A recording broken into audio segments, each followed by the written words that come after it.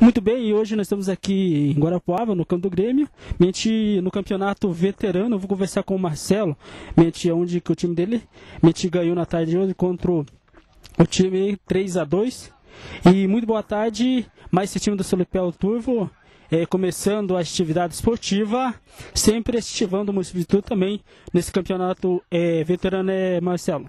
Boa tarde, Alencar. É, então, esse jogo hoje, primeiro jogo estreia. A equipe está bem cansada agora, chegou no final do jogo aí com pouco gás. Mas, como é o primeiro jogo, a gente vai ter mais a render para os próximos. É, nossa equipe, ela tá vendo dois amistosos. É, vamos se preparando aí para esse jogo aí. E vamos ver para o restante do campeonato aí como que nossa equipe se comporta. Vamos tentar fazer um, um, um campeonato bom aí para levar para o turvo lá, tentar levar o time na, nas primeiras posições.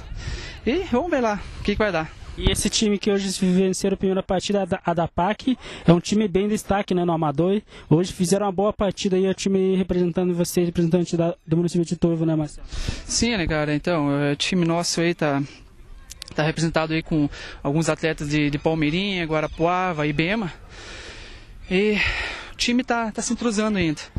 E vamos ver para frente do campeonato se a gente chega nas cabeças aí. Muito obrigado e bom sucesso, feliz 2015 para você. Olha lá, obrigado, Ricardo, você também.